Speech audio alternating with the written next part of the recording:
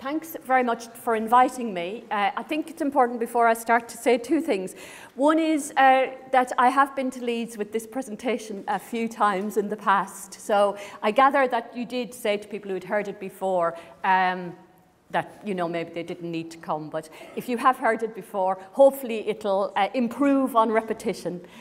Um, the second thing is um, that although it's just me speaking today it's really important to um, acknowledge that this work is born out of a great deal of teamwork uh, uh, particularly uh, based on a project a very large child welfare inequalities project that was led by Professor Paul Bywaters um, and Kate Morris on the qualitative side who I think many of you will know here in Leeds for her work on FGCs.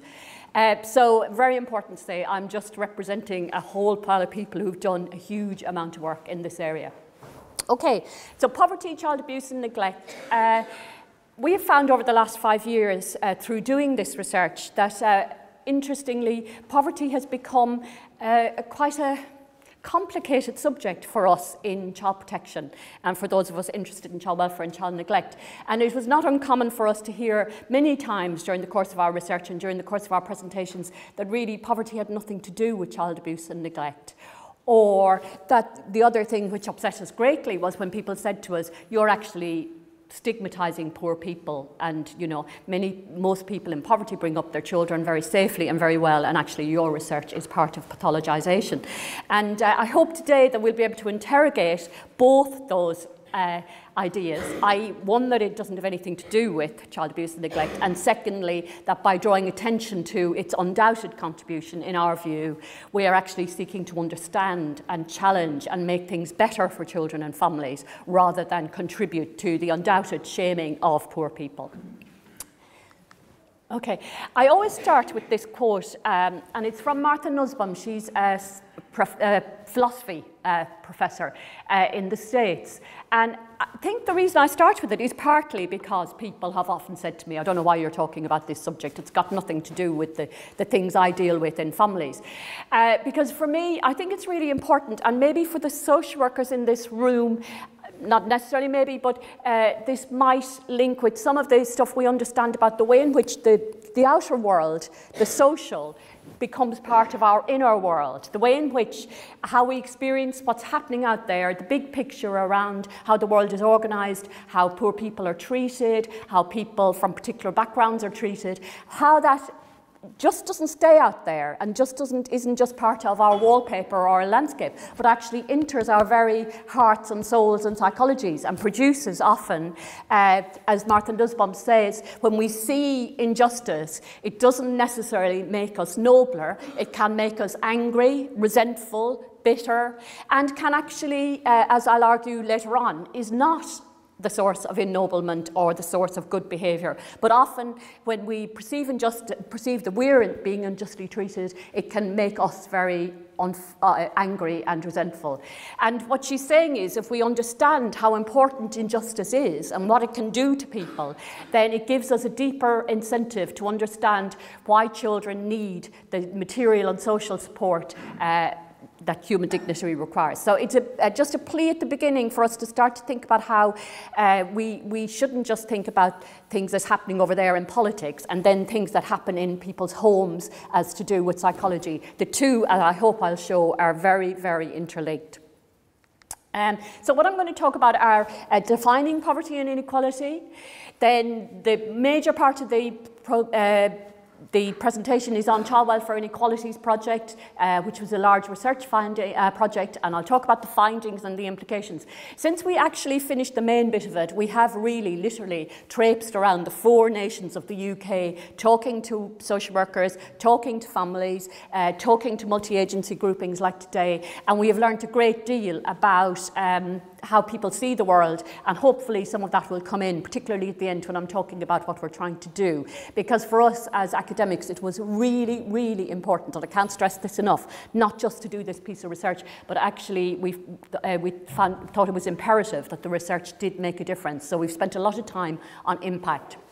And then finally, I will come and address, because I think it'll set up our discussions uh, for after the break, I'll uh, address what we call the elephant traps in this area. The, it, well, it doesn't cause abuse. You're you're excusing bad behaviour, uh, you're just letting people off the hook, etc. So I'll, I'll look at those in detail and then I'll set us up for some uh, exercises after the break. Okay, so as we, you probably know, uh, poverty is very contested and actually it's not just actually contested politically. We have found through talking to a wide range of people that, uh, that there's a lot of dispute amongst all of us about what exactly is poverty. A lot of people will say to me, well, there's no such thing as poverty in this country. You, you know, if you look at, say, somewhere like Africa or India, there's, there's no real poverty in this country. Uh, we also have politicians who say to us who want to redefine pol uh, poverty and say, well, it's not about how much benefits we give to people, it's about their behaviour, it's about what they do with their money uh, particularly around drinking and smoking and, take, and addiction. Duncan, uh, Ian Duncan Smith's argument is that uh, he wanted to redefine po poverty in terms of people's behaviours. But there is a lot of debate within our society, and I will argue a lot of anxiety and shame and anger about poverty, both against people who are poor and, and within uh, people who are poor about, uh, and we'll come back to that, but it's, it's very contested. It's also emotionally very complex, and I think that's partly why um, there's not an awful lot of research often done about it because uh, we found across, when we looked at the, the literature across the world, we found that every country, no matter how rich or how poor it was in an overall sense, that people who were in poverty, according to the uh, indices in that country, they were, felt very ashamed of being in poverty. Shame is a crucial aspect of poverty.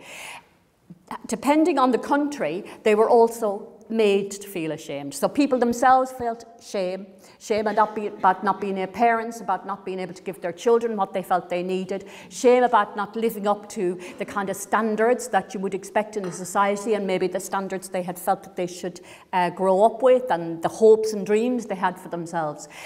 But also, uh, particularly in this country, but other countries, they were made to feel ashamed. Ashamed. Uh, anyone who's watched I, Daniel Blake would, will recognise some of the ways in which people who have to go for uh, to the job uh, secrets or for universal credit or whatever, are, struggle with how they're treated. Therefore, I think, and this is one of the issues you might want to talk about, is how do we talk to people in our work about uh, their income? How do we raise issues with them about poverty? Uh, and how can we access their true feelings about what's going on for them? So that might be something we will come back to. Okay. Uh, Peter Townsend uh, at the for, made the definitive definition uh, that is used by loads of the different organisations when he argued that actually it was about resources. It is about whether people can obtain the type of diet, participate in the activities and have the living conditions and amenities this is the bit that's really crucial though, which are customary or at least widely encouraged and approved in the societies in which they belong. He was arguing against the idea of absolute notions of poverty, i.e. people are in poverty if they have a certain amount of income. He was saying it's more than that and I think most of you in the room probably would say that it actually is definitely clear when you talk to children and you talk to parents about the fact that their children can't go on school trips, that a lot of people in Leeds are already dreading, well, will have been for quite a while, dreading Christmas, dreading what, uh, what, what their children will want, but crucially, how their children value themselves against other children in their classes. I mean, we've now reached a situation in this country where uh, teachers uh, don't no longer in many schools ask their kids what they did in the school holidays because it's actually too problematic. It's too difficult because there are so many children in their classes who will maybe have had very have had a terrible school holidays and will probably not even have had the school meal they're used to when they're at school. So it's something about relative and customary, and it's uh, linked to the idea that actually uh, it, I think I've got on this slide. Yes, it's linked to the idea that, yes, of course, Maslow's hierarchy of needs really, really is crucial.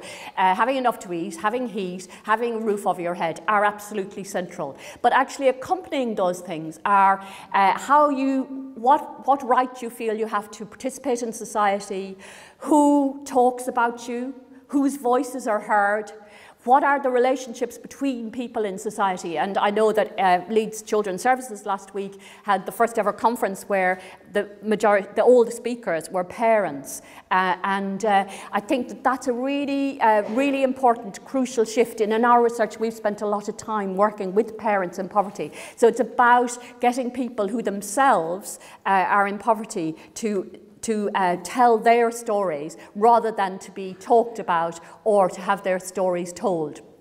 So it's something, so poverty is crucially linked to respect and human rights and dignity. And it is absolutely not just about money. Um, Amartya Sen, who uh, Nobel Prize winner um, economist, has done stacks of the work across the world on poverty and looked at loads and loads of countries in a comparative sense. And he has argued that shame is at the core of poverty. And uh, as I say, it's not just about how people feel, but crucially linked to it is how they are made to feel. Um, as I've already said, I think it's really important that we have a psychosocial approach to poverty. It is rarely ennobling. It can damage people and contribute to, as well as produce a range of social problems. And that's why, the crux of why it's important for child protection. Because for people trying to raise their children safely, uh, it's, it is about money, it's also about the neighbourhoods they live in. It's about the access to uh, help they have when they run out of money at the end of the week, uh, the safety of uh, poor neighbourhoods, uh, and the general sense that they have about being respected, being regarded, being, being uh, valid members of society. So it is crucially linked to good parenting, and um, we'll come back to that. So these I, I, just put this down. In fact, uh, I should have updated it actually, but uh, I've put the links there. You know this stuff anyway.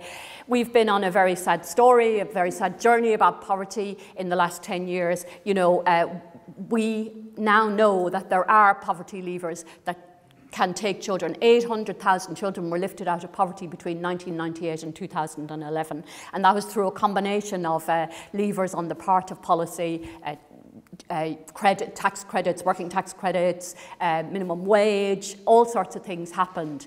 Uh, yesterday, though, I read that um, this isn't a party political point, but if we don't change course, uh, we, will, uh, we will have uh, poverty rates of something like 60% of children uh, in the next 10, 20 years. We, we, we really are in a really bad place in relation to poverty. The other thing is that uh, we've had huge changes in uh, the benefit system uh, on the premise that work is the way out of poverty. And we are constantly told, and this is part of the shaming thing, we're constantly told uh, by key people that actually, if you want to get out of poverty, then you work and you get a good job. But we now know that work does not provide a guaranteed route out of poverty. Two thirds of children growing up in poverty live in a family where at least one person works. Now, you can present those statistics till the, you're blue in the face to many people. But unfortunately, if you have a frame, and this is where values are really important, and again, I hope that we will have a chance to talk about that in terms of how we work together as organisations. If you have a frame that really clearly is your personal frame, which is that nobody needs to be in poverty in this country, and that it is primarily about the, uh, their hope, their aspirations, and it is primarily about their ability to work hard, then I can tell you this forever and you'll just go, sorry. Bec uh, and that's the way our communications work. If you have a frame, however, that says actually we don't give people a fair deal in the society and that some people are born, and I hope our research will provide more help for you to think that, uh, then you will understand that this uh, is about the fact that we have made certain policy decisions as a society which have been quite disastrous for families. There is room for things to change at a local level, and cities are trying to turn this around, uh, and we will talk about that. But, the, but you do need national levers to uh, really impact. As I've said, it's not just about poverty, however, it's also about the nature of the society in which you live.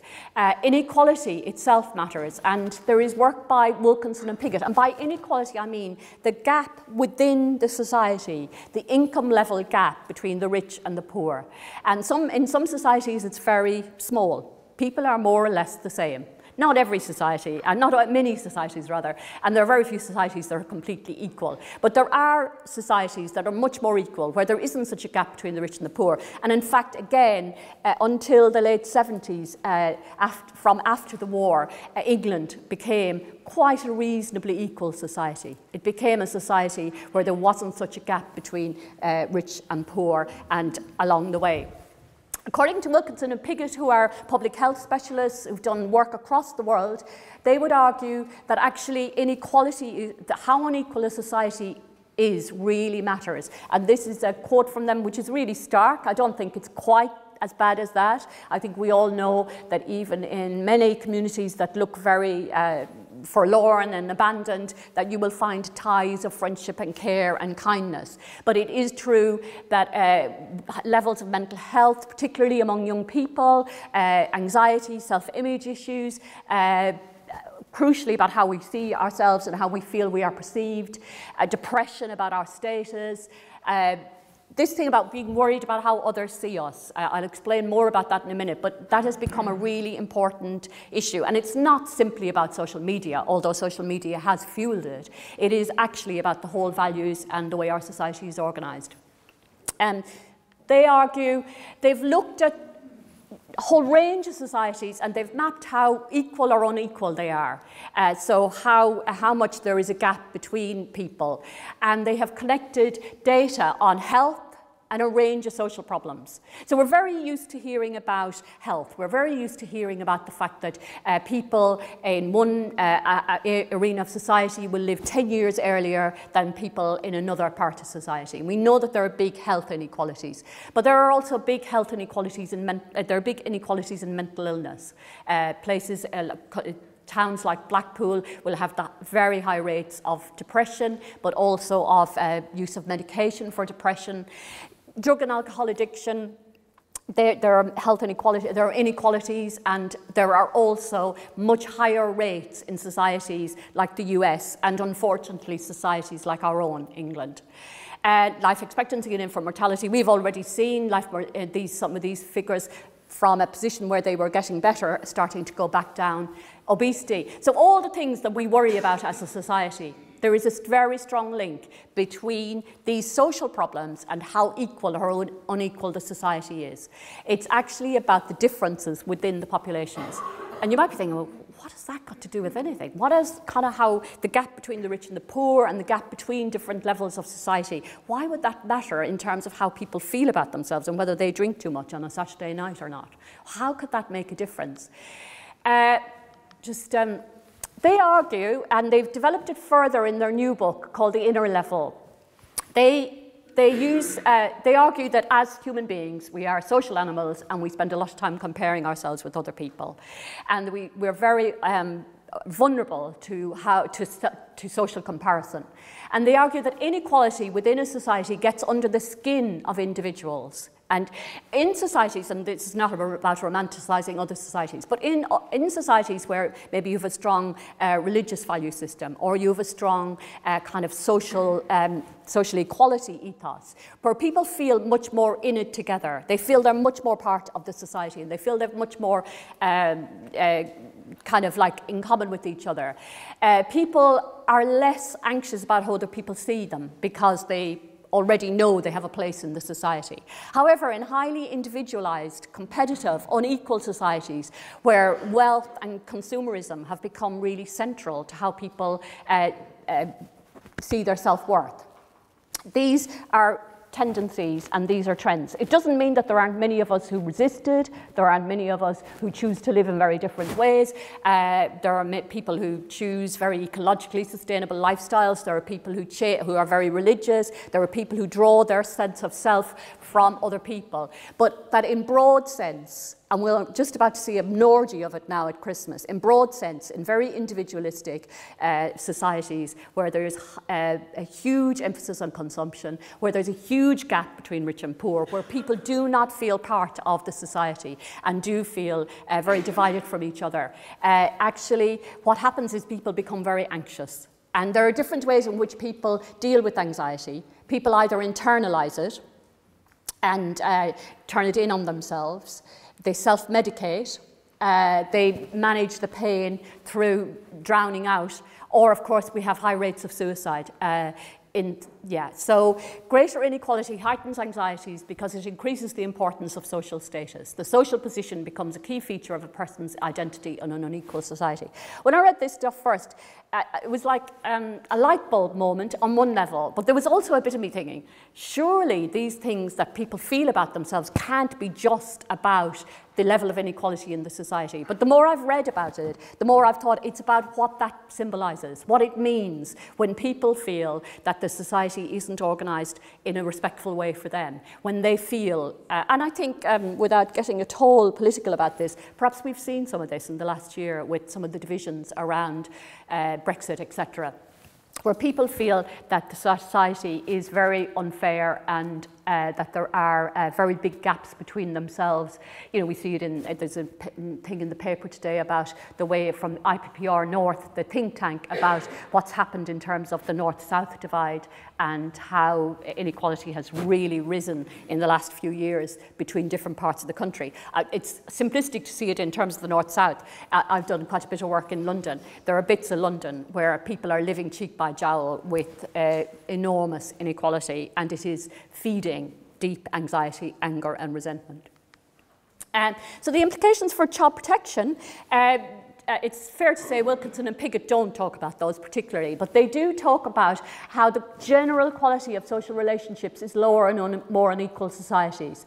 And they showed how inequality was linked to poorer physical and mental health and more substance misuse. Uh, it's not a great leap then to think how life in a more hierarchical, mistrustful society might affect us in our personal lives. Domestic conflict and violence, and there is, um, I'm just, uh, just started, Leeds are part of it, I've just started a big project on domestic abuse, massive driver in child protection, as we know, uh, and the research evidence on uh, poverty, economic stress and strain, how that impacts upon relationships between families, between parents, is really enormous. And we haven't been really dealing with that. We haven't been bringing that in because our gaze has been, uh, for all sorts of understandable reasons, our gaze in the child protection world has been very internal. It's been on attachment uh, patterns, it's been on parenting capacity in a quite a narrow sense, not looking at what fuels drug addiction, not looking at what fuels mental health problems, not looking at what fuels domestic abuse, we've been looking at their impact upon the children in quite a narrow, rationalistic way. And we'll come back to that. Okay, so this is the study that we did uh, across the four nations of the UK and led by Professor Paul Bywaters with, as I've said, Kate Morris, uh, Will Mason, uh, Brigid Daniels, who then, at that point was at Stirling, Jonathan Scourfield at Cardiff, Lisa Bunting in Northern Ireland, Nughmana Mirza at Stirling, Geraldine Brady at Coventry, Calum Webb at Sheffield, and Jade Hooper at Stirling. So we got money from the Nuffield Foundation. Uh, we also did a literature review where we got money from the Joseph Rowntree Foundation. And we set out to look at the relationship, a literature review on the association between poverty and child abuse and neglect, CAN.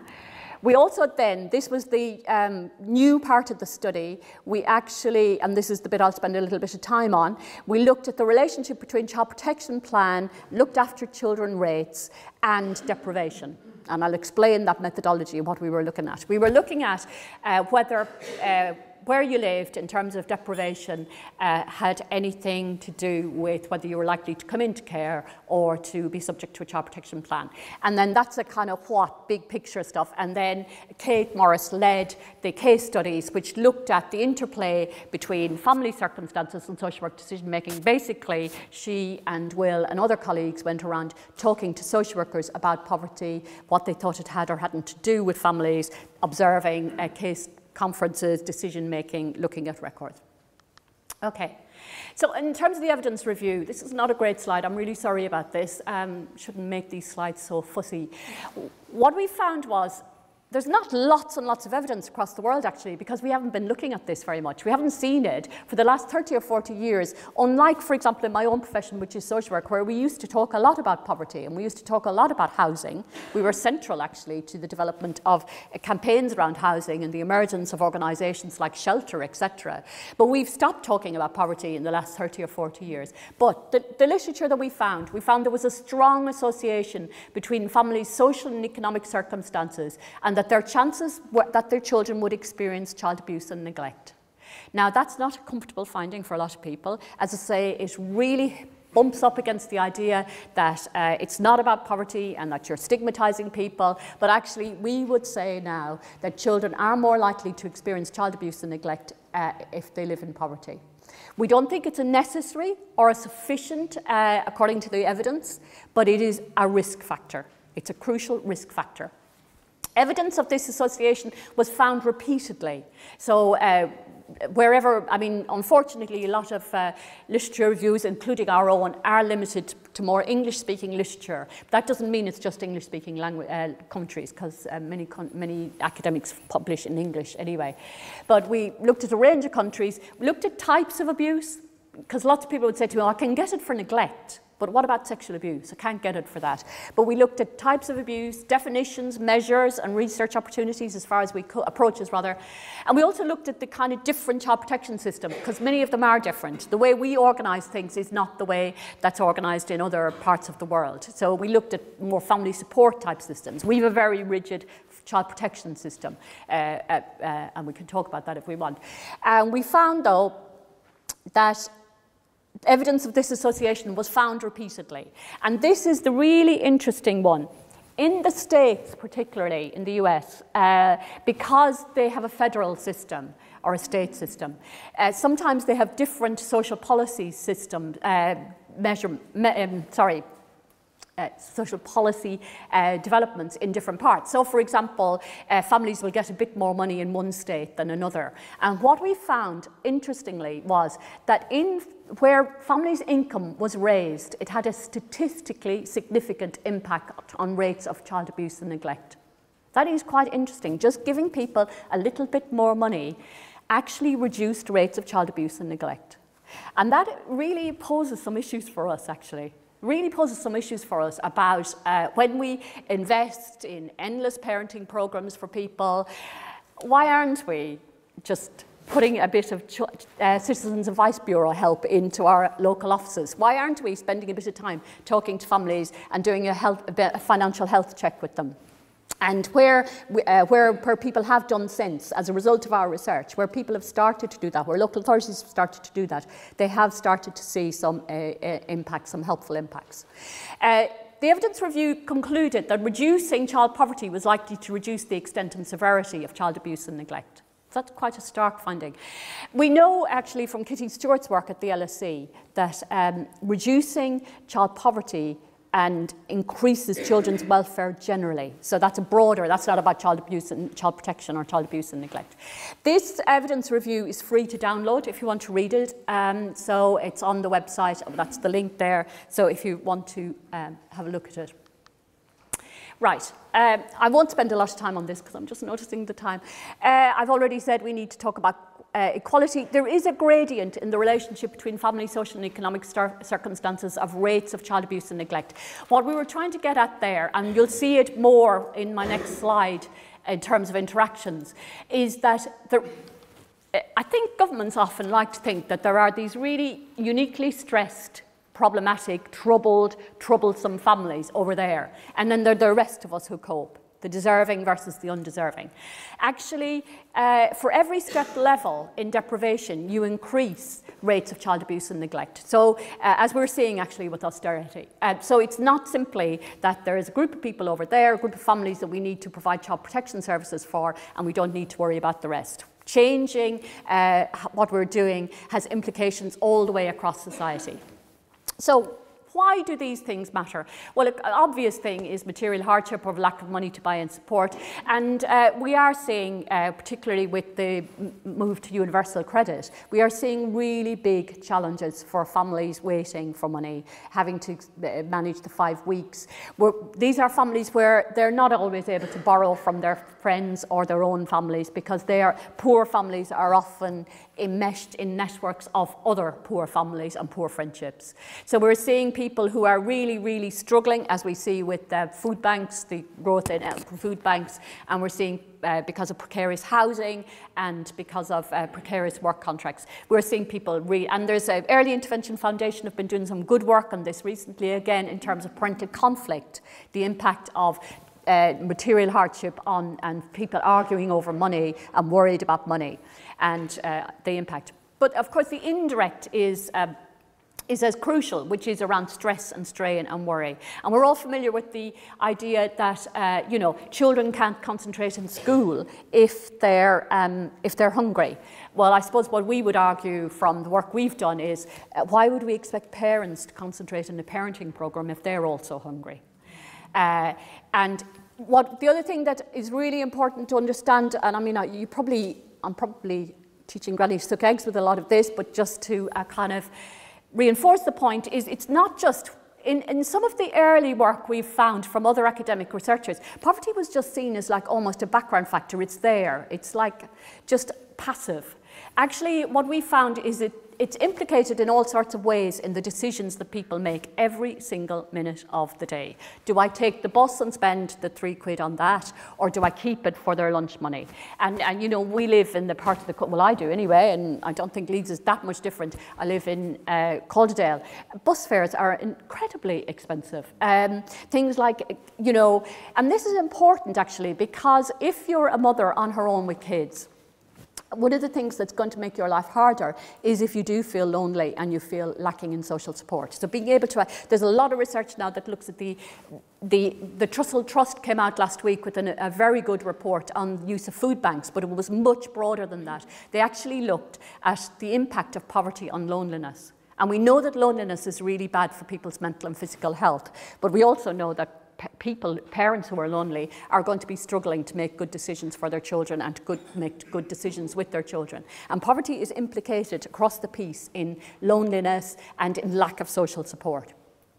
Okay, so this is the big study we did. We looked at the rate of child protection plans and looked after children uh, across, well, we looked at the four countries, but I'm only going to talk about England today. And we look, this was per 10,000 children. Now, why did we choose deprivation proxy? We would have liked to study the relationship between parents, social and economic circumstances, and their chances of a child coming into care. Don't worry if this doesn't make any sense to you in a minute, it'll, it will. Uh, uh, but we weren't able to because no government, including the one in England, collects data on the social and economic circumstances of the parents of the children they take into care, which does seem strange to us. That we take children into care, but we actually don't gather any evidence on whether their parents were working or not, whether they were receiving universal credit or not, no systematic data. So we can't say whether parents going into work is a protective factor for their children, etc. What we had to do was use a proxy, which is area level deprivation, which is a methodologically robust and uh, uh, you know, it's a, it's a recognized measure of deprivation. It's about the depri deprivation of the area you live in on the grounds that pe people who live in an area of deprivation are likely to be deprived. And what we found is that one over there, number one, is the most affluent bit of the country. So that's where, that's the Kensington and Chelseas of this world. So we found that a child living in, in, in some of these very affluent areas was a, a child protection plan, 8.8 per 10,000 children were on a plan, 14.7 were looked after. If we go over, though, to look at a child in the most deprived bit of our society, look at what we're, we're talking about children being over 10 times more likely to come into care or to be subject to child protection plans. Now, if um, we go back to the UN Convention on the Rights of the Child, we will see already that there are huge inequalities in children across our country in children's ability to spend time in their families safely within their neighbourhoods and communities, that they are, uh, and, that, and to, stay, to spend their childhoods rather. Uh, and so we are, our systems are focused on people in this bit. We're rarely over there. We're rarely over in the affluent bits. And when we are, we panic and we put on our best clothes and we consult legal. uh, so, uh, so uh, and the reason that this is quite important is very important is that before that, and even since then, you know, we've had policymakers say to us things like, well, it's about thresholds, or it's about the quality of practice leadership, or it's about the, assist- the models you're using. If you use systemic family therapy, you won't, you know, that's why Kensington and Chelsea are so successful. And we're not saying that any of those things aren't important. What we're also saying, though, is poverty and money matter. They, and I will show you in a minute how they matter in all sorts of ways.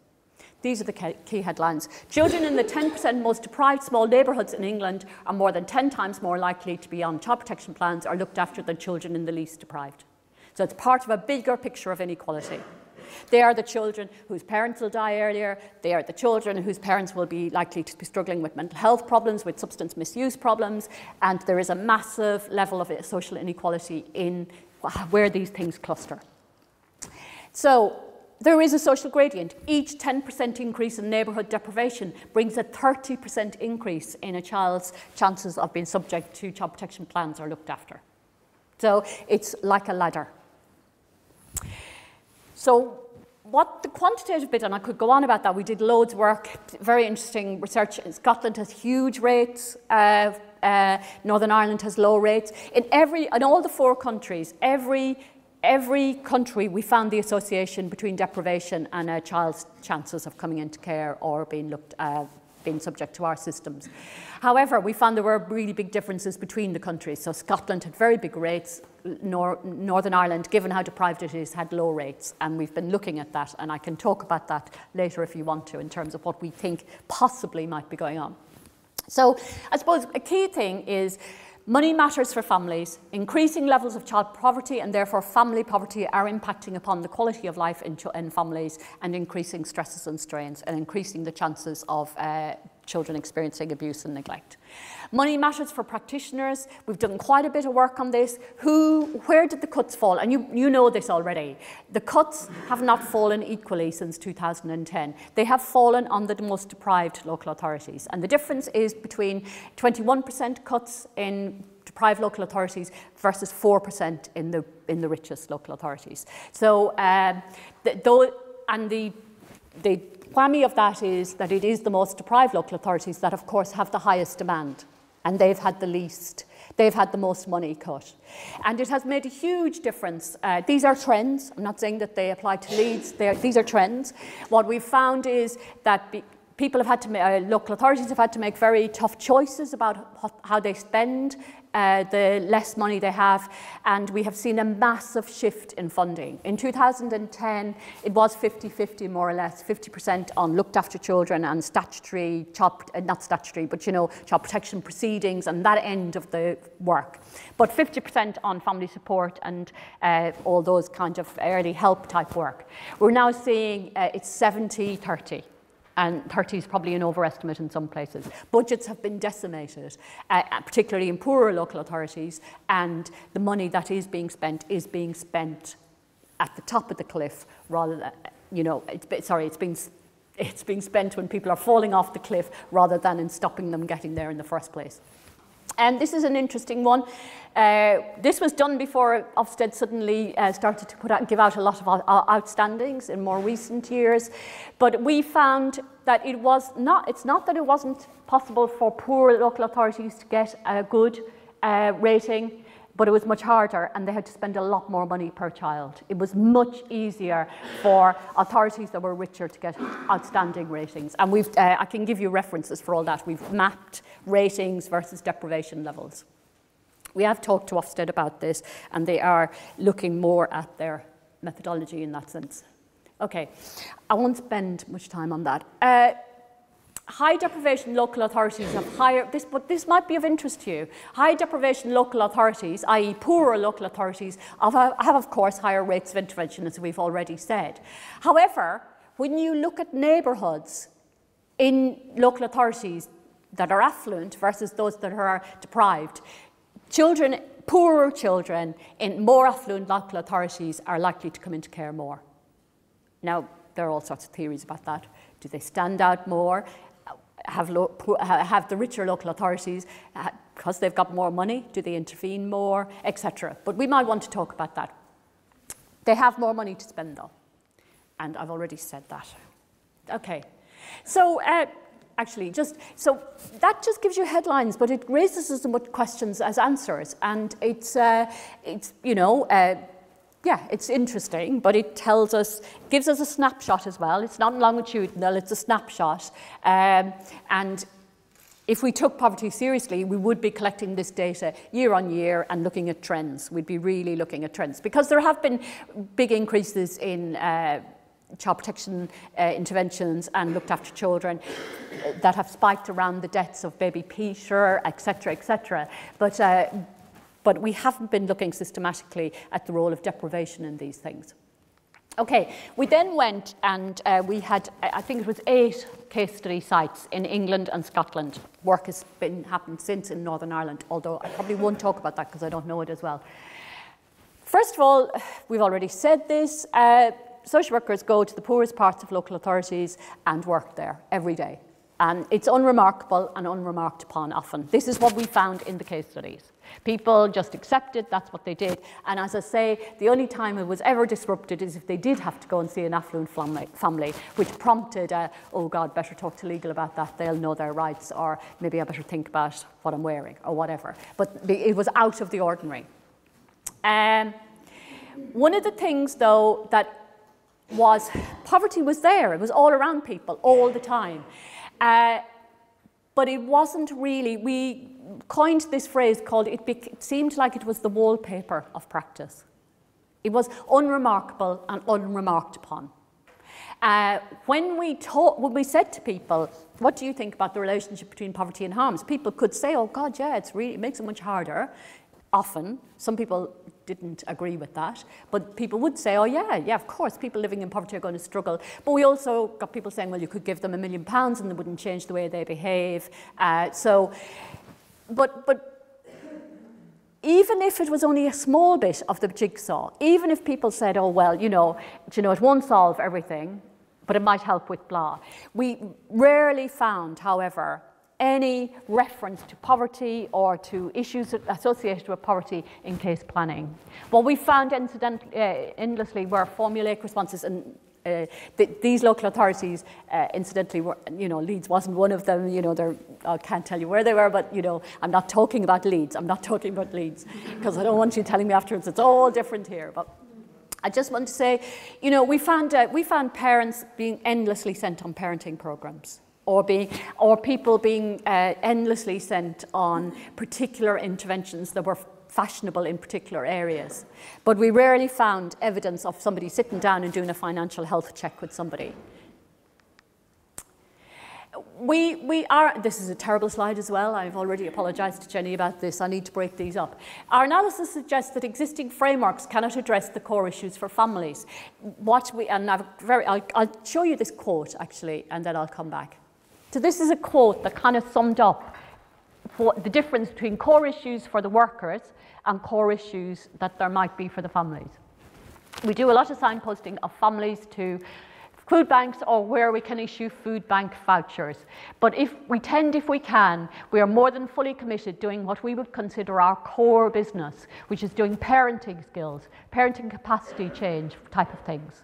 Now, when you think about what impacts upon parenting capacity, domestic abuse, substance misuse, uh, uh, kind of stresses and strains, what becomes apparent here is we're not asking the questions behind the behaviour. We're not asking why. We're looking at the behaviour and we're addressing the behaviour and we're not looking at why. Why is this behaviour? And this other stuff, while it's in a perfect world, we should be doing it and doing it with family. The reality is that the workload people would say, you need to be doing other things, getting other people to do that sort of thing. Uh, you, can't, you haven't got the capacity, and if you do it, you run the risk of drowning. So basically, social workers were both saying, look, it's not our core business. We will do it if we have to, but it's not our core business. And moreover, they were told it wasn't their core business. So this is not about blaming social workers. This is about recognizing that we've developed a way of thinking about, about protecting children, which is very individualized, which is very lo located in uh, what parents do or don't do in the very immediate sense, how they deal with their children in the here and now, rather than a more investigating why they might be feeling what they're feeling. So to go back to that, so uh, they don't see it as core business, but why, why? Why has this happened? Well, first of all, and we totally understand this, social workers said, well, it's not our, it's too big. This is what the government do. This is too big for us. We're just trying to get it by. We've got huge caseloads where if all our resources are gone, uh, we're a poverty-stricken profession, many said to us. We've got no resources ourselves. How can we deal with the lack of resources on the part of families? The overwhelming scale and complexity of unmet need and the hollowing out of family support services was a uniform response across all the sites, actually, a uniform experience. I've already said this, that uh, services, uh, that we can be a bit formulaic. Um, what we do sometimes is we, we tend to import services from, oh God, uh, so so and so is doing signs of safety. Oh, we'll bring in signs of safety. Oh, so and so is doing triple P. Oh, we'll have triple P. Oh, it's evidence based. Oh, it shows it works. Whatever. And that's all right on one level. But actually, it's not very rooted in thinking about, um, well, you know, if you think about the differences between places in this country, I, this wasn't one of our case study sites, but I do a lot of work in places like Barnsley. Um, Kate and I have been doing quite a bit of training there. Barnsley is somewhere that has a whole history, a particular history because of the collapse of the mining industry, a whole history of what's happened to it. It's quite different to working with parents in Camden you know, experiences of deprivation may be very similar uh, psychologically, but the contexts are quite different. And one of the things that we would argue is that we've maybe become a bit wedded to routinized programs that we bring in and import rather than sitting down and saying, do you know, what, what's the bus service like in Barnsley? If you're a mum living in one bit of Barnsley, how easy is it to get in to get your uh, benefits checked, etc. Uh, we found rather than doing an analysis of what was going on, the availability of the services or the fashion fashionableness of the services shaped and constrained the social work analysis. This was another one, and again, we have to own, uh, take, you know, hold up our hands as social work educators, because clearly we've been doing something really, really wrong here too. Because what we found as well was some social workers were saying to us uh, things like, well, we know lots of people here are on um, zero hours contracts. And we know that work, that the only work they can get is in the Amazon, whatever, down the road or whatever. Uh, but we don't discriminate against people. We don't ask about that. We, we treat everybody the same. As if by asking about people's different circumstances, it was discriminating. Kate talks about it as a moral muddle, that we've got into a moral muddle around what anti-discriminatory practice looks like. Um, the other thing is that uh, it was more likely in some of the deprived local authorities that we went into that the social workers did know the area better and that maybe they uh, lived near it uh, or they had grown up in it and they were better connected with the area. In some of the more affluent local authorities, we did find social workers drove in in their cars to work every day. They used their sat navs to negotiate where they were going to visit and uh, they didn't really, and, and with some, a small number, they made it a point of pride not to really know the area. You know, they, they kind of said, oh, I just go to those streets and, uh, you know, I get away. Um, again, be very interesting in the discussion after the break to talk about what that means in Leeds, where uh, people have different relations, what, what the relationships people have with space and with the communities in which they're working. And this is really important when we think about assessments. We're assessing for neglect, we're assessing for uh, why people are or aren't feeding their children properly, why they are or aren't getting them to school on time, why they are or aren't uh, clothing them properly and looking after their emotional needs. And th they're very rooted activities. They're very linked to the resources that are available to people. Uh, we found some fantastic social workers. We found social workers who absolutely were working their socks off to try and make things better for families. And we found no social workers who didn't want to make things better for families. But we did find that some of the systems we've got involved in were reinforcing the shame and the suffering of poverty for families. And the, the, um, the example we gave, um, and I will finish with a good example on this, but the, the example we gave, we gave is the father who went to a meeting uh, where the recommendation, I mean, before the meeting, he had already told the social worker that he had no money for his bus fare home. And uh, before, uh, the recommendation of the meeting was that his child was going to be adopted. Uh, that was a recommendation, and of course, obviously devastating. He was in floods of tears, uh, and he then had to go around everyone after the meeting asking for the bus fare. And he was directed to a building where he would fill in a form and he might get his bus fare. And you know, it's that kind of thing that actually you know, is rather inhumane, really. So I've already said this. So very quickly, uh, sorry, uh, there are three things that we constantly come up against. There are more than three, but these are just three things that I wanted to flag up before the break. Or should I stop and do whatever you want? the coffee won't be ready till 11. Okay. Okay, right. Well, what we can do is I'll go through these and then we can talk about these. I'll leave them up and we can talk about them after the break and there is an opportunity then for you to do some work. So shouldn't people take responsibility? This is one thing that's really important in terms of neglect.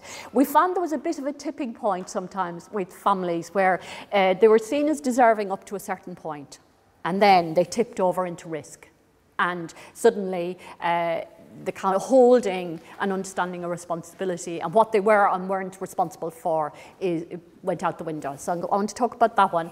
I've already mentioned that, but I'll come back to it. And then finally, of course, the thing is, if we're trying to understand these things, are we justifying them? And there are these things that we get into a muddle about, all of us. So we recognise there is a danger that we're being far too simplistic and that we're substituting what we could call an underdog story, which presents those who experience poverty or inequality as just unable to take any agency or responsibility for their own troubles. Uh, and we profoundly worry about that. We, we know as researchers that getting people to take responsibility for their lives is crucial to being a human being. It's absolutely essential that, you know, and I give this example all the time, it's just a simplistic one, but if you have a friend who every time you want to meet her for a coffee, she's late, there's always some excuse, uh, what you start to feel is A, she doesn't value me, and B, she's not taking responsibility for managing her own time, and why can't she be honest about how the expectations that she, uh, you know, honest about her um, commitments.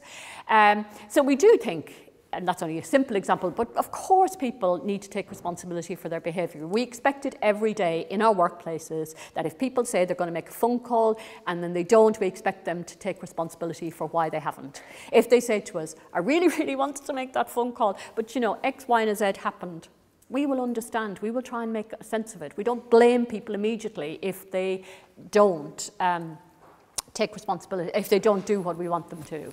What we think is, though, it is problematic when we expect individuals to resolve problems for which they cannot reasonably be held responsible. And again, the example I would give to you here is you're a dad in London, uh, you've recently got leave to remain in this country, you've a terrible credit history because uh, you haven't been in this country, you're on a zero hour, you're on a minimum wage job, and your contact with your children is excellent, your attachment relationships with them is excellent, but you can't find a house in which to house them, uh, three children. It, it, that is not evidence of your lack of commitment to your children. That is evidence of the fact that London has a crazy housing market and that you are living in poverty in one of the richest cities in the country, in the world rather. And, and um, that's, this is, that example is not from our work, but it's from another uh, piece of work that Anna Gupta did. So, that, but it's a good example of what can we reasonably held, and that's something I'd like us to talk about. What can we reasonably expect people to be held responsible for? If uh, kids are always late for school, is it that mum can't be bothered getting up? Or is it that she has three kids and they're going to different schools and the buses are all kaput. I know I'm obsessed with buses, by the way. I use public transport all the time. And in fact, get me on trains and we'd be here all day. Um, so I think there's something there that we might want to talk about because I think we've got a bit confused in our professional practice about responsibility and what we think. And we've got confused as a society actually about it because as a society we've been told endlessly for the last 30 years that we should understand a little less and condemn a lot more. That's the message we've had from governments, successive governments. The second one is there is a difference between direct and systemic causation. When we say to an infant or a child, a toddler, if you put your hand in the fire, it'll get burnt, that's direct causation. And it's true, it will get burnt unless you're very lucky. However, most of social things in our lives are not directly caused. So when we say poverty does not cause child abuse and neglect, yes, it doesn't, but it is different then to say, but it's a contributory factor. It's part of the jigsaw. There are very few social issues where there's one even health issues. I mean, I'm somebody who smoked, and I know that um, smoking causes lung cancer, but I also know that not everyone who gets and not everyone who smokes gets lung cancer, and I'm hoping that that's going to be right for me. It may not be. But what I'm trying to say is that there are multiple causations for lots of things. It's systemically, there are systemic causes, and that's what we want to get across. It's not it's the only cause, but it's a piece of the jigsaw that we haven't been uh, addressing as, as professionals and as safeguarders. And finally, are you saying that poverty justifies violence or neglect? No, we're not we understand it. We understand that people are saying to us, you know, you're just making excuses for people and you're just justifying terrible behaviour. You should see some of the cases I have. But we do think that we're confusing what we're trying, explanation with justification. And this is again, this is from Andrew Sayer, who's written a lot about uh, economic crises and financial bad behaviour by bankers, etc. He argues that much behaviour lacks moral justification, much of what we do, you know, when we have, when we eat too much or tell little fibs to get ourselves out of trouble, you know, most of us tread some moral fine lines a lot of the time, unless we're very good, or maybe it's just me, you know, we just kind of fiddle around with things. But it, but a lot of our behaviour is made more or less likely by particular circumstances. It's, it's easy to be good when you have a lot of good things around you.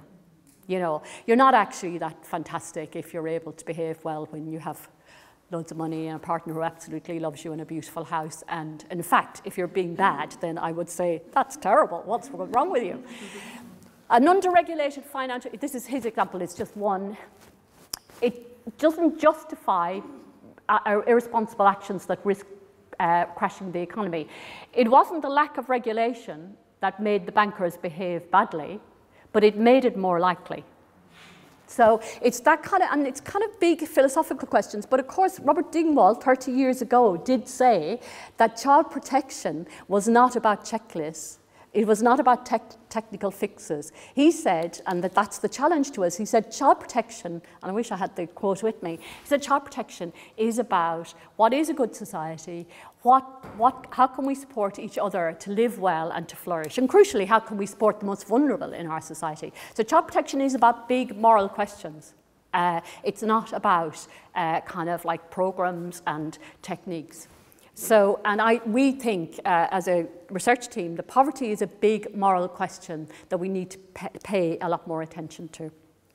I think that's got references there. Yeah, so I'm going to finish there.